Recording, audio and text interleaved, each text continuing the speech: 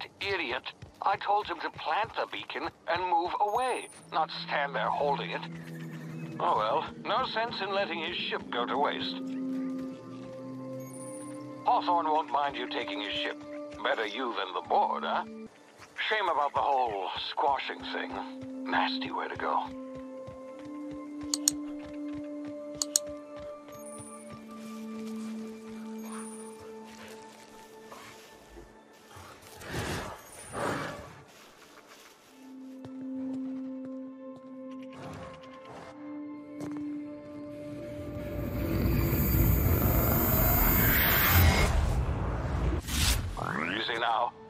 Frozen for a while. There's bound to be unforeseen side effects.